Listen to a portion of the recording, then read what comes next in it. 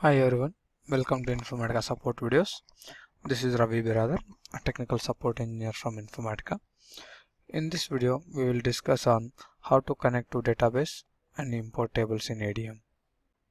So in this uh, uh, video, we will uh, see how to launch the EDM and uh, connect to database and import the tables.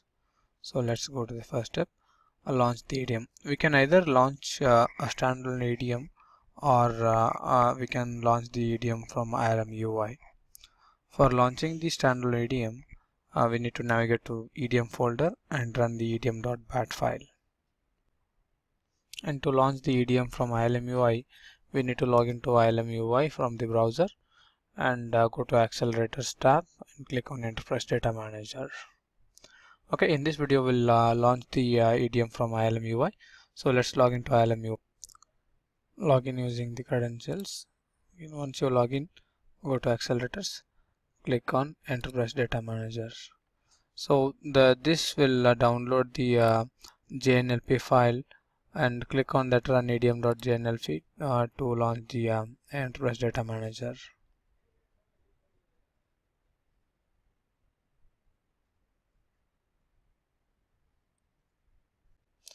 Once the EDM is launched we can right click on the uh, custom apps only uh, option and uh, click on new application uh, version to create a new application version. You can name it uh, for demo for this video and click on finish to create it. Click on save to save this application version. Or else if you want to uh, mine the tables in an existing application version you can do that by selecting the application version and mining the tables. So in this video we will mine the uh, tables in the new uh, application version okay? So to mine the tables select the product family version whatever the application version we have created. Go to files click on import metadata from database. So enter the connection details in the new uh, dialog box. You can create a new connection. Select uh, any connection you want uh, mine it from that's Oracle, SQL Server, uh, DB2, Netezza, Teradata or Sybase. So in this demo we'll uh, select uh, Oracle. Okay, I'll enter all the details. Once the details are entered, click on OK to connect and it will prompt you for the uh, profile name. This is for um, saving this connection for the future use. You can name it as uh, demo profile so now it, it is connected to uh, database. Now filter out based on the schema from which you want to mine. And click on next. Then either you can go by two options.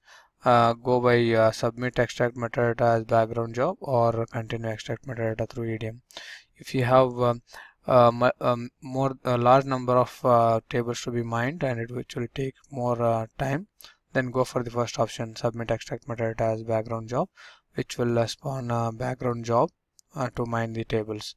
Uh, if you have a few tables to mine in um, EDM, then you can go for the second option, continue extract metadata through EDM and click next. Okay, here select the uh, tables you want to mine and select here and click finish to mine them. Here it will ask you for uh, you, whether you would like to mine the uh, child tables also or not if you want to mine the child tables then click yes. Else click no. Okay. Now the tables are mined successfully. Click on ok and close this dialog box and save the changes to uh, update the repository. So we can see the uh, mine tables under uh, view constraints tab and expand the product family version under which you have mined and see the uh, schemas so we have mined two tables employee and dependent. So these are the two tables. Mined you can see the columns constraints. Okay. This is it from this video. Uh, we would love to hear from you. Um, you can give us the feedback um, by uh, either of the below links. Okay. Thank you for watching. Have a nice day